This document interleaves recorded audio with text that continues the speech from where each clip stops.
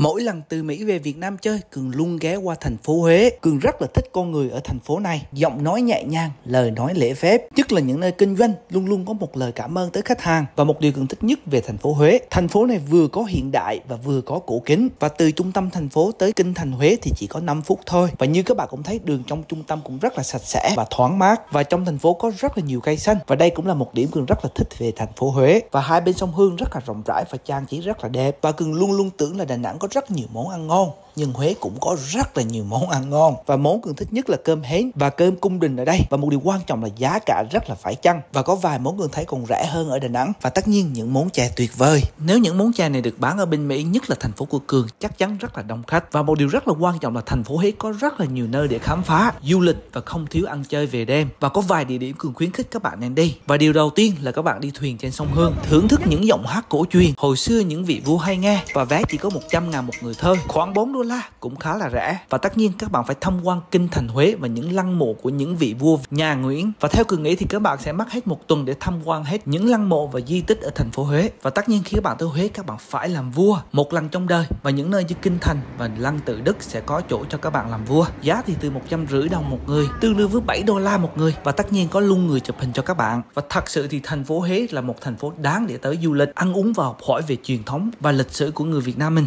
Và có bạn nào thích thành phố Huế như Cường không? Nhớ comment ở dưới cho Cường biết với nhé. Và đừng quên theo dõi kênh của Cường để biết thêm về hành trình của Cường nhé. Cảm ơn các bạn.